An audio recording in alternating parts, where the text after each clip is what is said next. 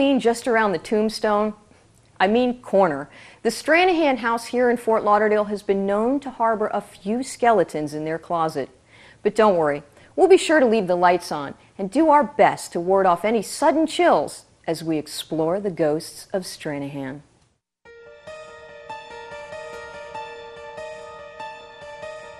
Picture, if you will, a haunted place, in this case a house, specifically the Stranahan House in Fort Lauderdale, where ghost like images have been reported for some time. There's no need to be alarmed or become obsessed by these eerie connections rising from another dimension. But as a top notch investigative reporter for Celebrate South Florida, I would be remiss if I didn't. Well, you coming in or not? oh, uh, who? Me? Uh, oh yeah, yeah, I'm I'm right behind you, all the way. Well, as I was saying, the Stranahan House has been a fixture in Fort Lauderdale since it was built in 1901. Well, any house that has been around for over a century usually has some tall tales to tell. And who best to convey the messages from the poor souls who have crossed over but John Marc Carr? John is the gatekeeper for the Fort Lauderdale Ghost Tour and spins spirited tales throughout Fort Lauderdale landmarks, including the Stranahan House. But before dredging up sudden cold chills or bells tolling for the restless dead to rise again, did I mention that Frank Stranahan, known as the father of Fort Lauderdale, built this house and married Ivy Cromartie, who also had the distinction of being the first teacher of Fort Lauderdale. Okay, okay, I know. Let's get on to the good stuff. John wastes no time introducing the first tragedy right at the front door. It was 1903. A young Native American girl, eight years old, crossed over the bridge over here. She walked up to the door. She knocked on the door. Where Ivy Stranahan opened up the door to answer. Come on inside. The little girl was very much in a lot of heat and she couldn't talk very well, so Ivy went to go get her a glass of water. And what happened is that as she came back, the little girl was already dead right here in the threshold. Hey, John, what about Pink Cromartie? It's the early 1900s, and Pink Cromartie Moss, Ivy's sister, stayed here because she was seven months pregnant. And they had a bed for her here, and she was waiting for her husband to come back. And when she was seven months pregnant, she got a letter from her husband saying that he was already married to another lady up in New York, New Jersey. So yes, he was a bigamist. She got very upset, and she gave childbirth here. The baby was a stillborn, and she hemorrhaged to death right here inside this alcove. Okay, now that John is all warmed up, let's move on to Albert Cromartie, Ivy's brother. He basically died from too much partying and became a very jealous ghost. It was the late 1920s, and Albert stayed in this room. Albert was uh, Ivy's brother and Frank's brother in law. After Frank Stranahan passed away, Albert decided that he wanted to spend um, his time here. And not only here, he went over to the um, riverfront area where he used to party pretty hardy. And uh, because of his uh, partying, he became um, strict with TB, tuberculosis. Uh, they knew it as consumption during that time period. And he was quarantined in his room for six months. And with TB, either you live with it or you die with it. Albert died with it within six months.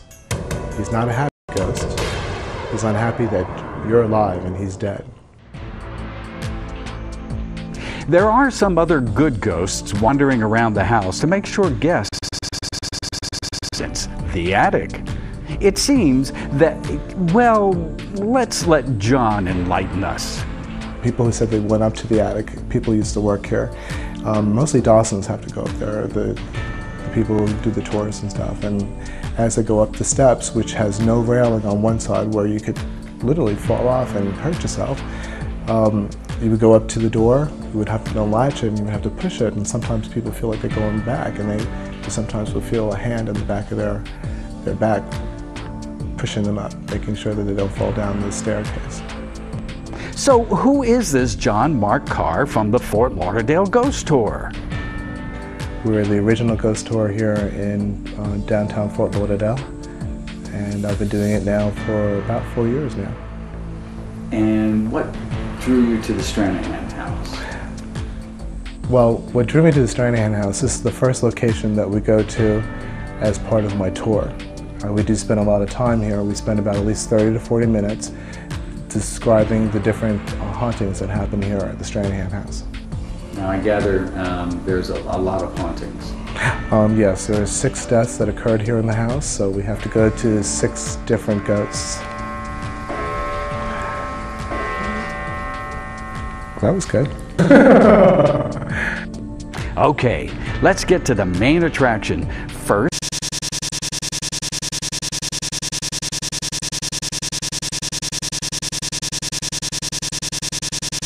If she likes you, you get a warm blanket feeling.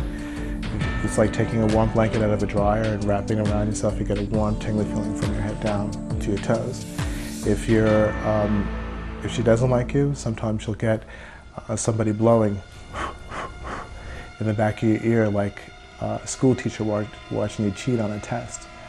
And uh, that's how you know that she doesn't like you. And the blowing in the ear will stay constant until you finally leave. Um, people come here and they also will smell the sweet perfume of Ivy if they mention a name a couple of times. Um, they do hear uh, footsteps going up and down the steps. Uh, we do get this rocking chair will rock on its own for about at least a good um, 15 minutes at a, at a time. Now, this is where it really gets interesting with Mr. Frank Stranahan.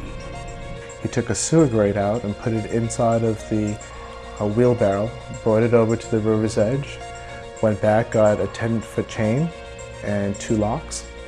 He locked uh, the chain around his waist. He locked the other end to the sewer grate, walked over to the water's edge, and kaplunk, went right into the water. Frank died that day in May 1929. Now we have what we call a residual haunting of Frank. We do have uh, people say they see a spirit of a man walk along the side of the house, go over to the river's edge, and throw himself in the river. So, there you have it the sad tales of the Stranahan house. Should you choose not to believe that the Stranahans still haunt the house, well, that's your prerogative. But if you happen to be there when something or someone rushes up against your hair and whispers, and the lights begin to flicker out, don't say you weren't warned.